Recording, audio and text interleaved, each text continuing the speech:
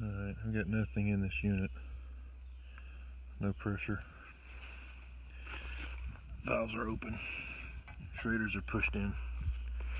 I got nothing. So I'm going to put some tracer gas in there. And then we'll find the leak with the SRL8. Okay. 136 psi standing pressure in the unit. 410A. Got the SRL8 warmed up. I've went over everything out here. Haven't really found anything. Um, I don't really see anything in the bottom down there that would be indicative of a leak. So, but uh, knowing this manufacturer, I'm gonna have to guess it's probably the indoor coil. So I'm gonna brave the crawl space now and see if we can find a leak in the indoor coil.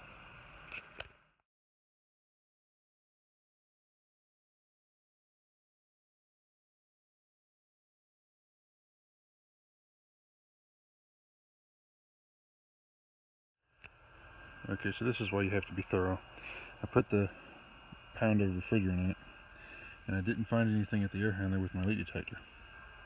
When I searched my leak detector here, I just checked the valves, you know, down there, and just, you know, ran it around this side of the coil where the, you know, distributor tubes or the capillary tubes are, I didn't come up with anything out here.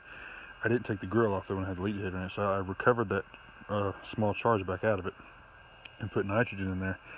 And then I used uh, a method that I've seen Ralph from TNN Services use. You know, close these valves here. On a heat pump, you've got the charging port, which goes just to the outdoor unit, and then you can put one one port on the line set and coil. So I've got my blue hose on the line set and the coil, and I've got my red hose on the outdoor unit. We started out at 272.4. This has actually climbed uh, four tenths up to 272.8 and this you can see has dropped to 264 uh, which the red hose is going to the heat pump the heat charging port in the outdoor unit so I knew my leak was in the outdoor unit so I went ahead and got my leak detector and just started spraying out here and I found it. Right there. How many times you see a reversing valve leak right there? I haven't checked the other ones I think that's the only one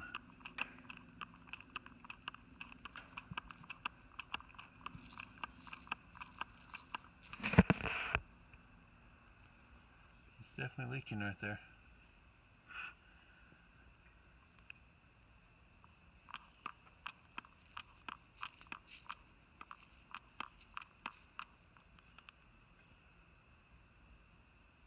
Wow.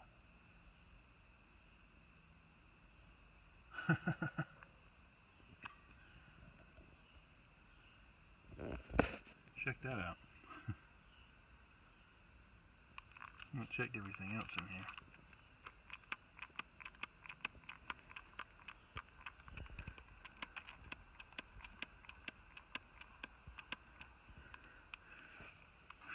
I'm pretty sure that's going to be about it for this leak search.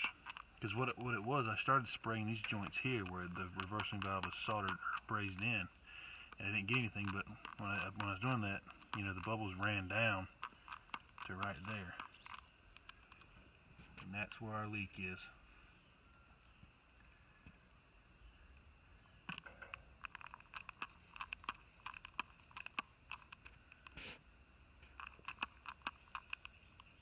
So we're going to need a new reversing valve.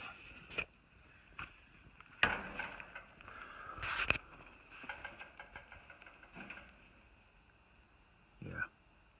Well, that'll conclude today's leak search. That'll conclude this one anyway.